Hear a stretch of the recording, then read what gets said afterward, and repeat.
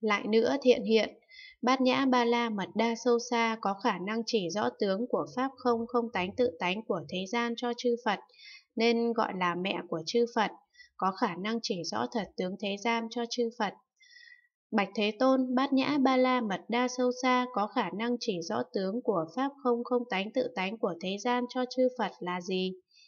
Này thiện hiện, Bát Nhã Ba La Mật Đa Sâu Xa có khả năng chỉ rõ sắc là tướng của Pháp không không tánh tự tánh của thế gian, thọ tưởng hành thức là tướng của Pháp không không tánh tự tánh của thế gian cho chư Phật,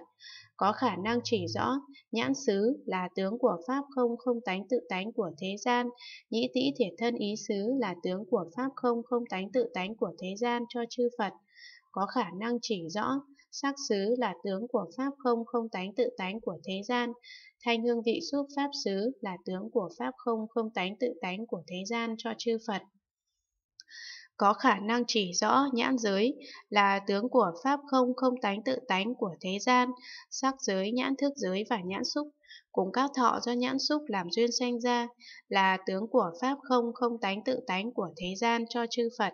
có khả năng chỉ rõ nhĩ giới là tướng của pháp không không tánh tự tánh của thế gian, thanh giới, nhĩ thức giới và nhĩ xúc, cùng các thọ do nhĩ xúc làm duyên sanh ra, là tướng của pháp không không tánh tự tánh của thế gian cho chư Phật, có khả năng chỉ rõ tĩ giới là tướng của pháp không không tánh tự tánh của thế gian, hương giới, tĩ thức giới và tĩ xúc, cùng các thọ cho tĩ xúc làm duyên sanh ra, là tướng của pháp không không tánh tự tánh của thế gian cho chư Phật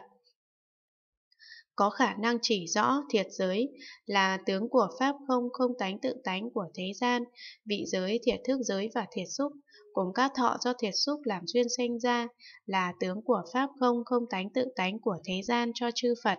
có khả năng chỉ rõ thân giới là tướng của Pháp không không tánh tự tánh của thế gian, xúc giới, thân thức giới và thân xúc, cùng các thọ do thân xúc làm duyên sanh ra là tướng của Pháp không không tánh tự tánh của thế gian cho chư Phật. Có khả năng chỉ rõ ý giới là tướng của pháp không không tánh tự tánh của thế gian, pháp giới, ý thức giới và ý xúc, cùng các thọ do ý xúc làm duyên sanh ra là tướng của pháp không không tánh tự tánh của thế gian cho chư Phật có khả năng chỉ rõ địa giới là tướng của pháp không không tánh tự tánh của thế gian thủy hỏa phong không thức giới là tướng của pháp không không tánh tự tánh của thế gian cho chư Phật. Có khả năng chỉ rõ Vô minh là tướng của Pháp không không tánh tự tánh của thế gian, hành thức, danh sắc, lục xứ, xúc, thọ, ái, thủ, hữu, sanh, lão tử, sầu, than khổ, yêu não, là tướng của Pháp không không tánh tự tánh của thế gian cho chư Phật có khả năng chỉ rõ bố thí ba la mật đa là tướng của pháp không không tánh tự tánh của thế gian, tịnh giới an nhẫn, tinh tấn tịnh lự, bát nhã ba la mật đa là tướng của pháp không không tánh tự tánh của thế gian cho chư Phật, có khả năng chỉ rõ pháp không nội là tướng của pháp không không tánh tự tánh của thế gian, pháp không ngoại, pháp không nội ngoại, pháp không không, pháp không lớn, pháp không thắng nghĩa, pháp không hữu vi, pháp không vô vi, pháp không rốt giáo, pháp không không biên giới giới, pháp không tản mạn, pháp không không đổi khác, pháp không bản tánh, pháp không tự tướng, pháp không cộng tướng, pháp không tất cả pháp, pháp không chẳng thể nắm bắt được, pháp không không tánh, pháp không tự tánh, pháp không không tánh tự tánh, là tướng của pháp không không tánh tự tánh của thế gian cho chư Phật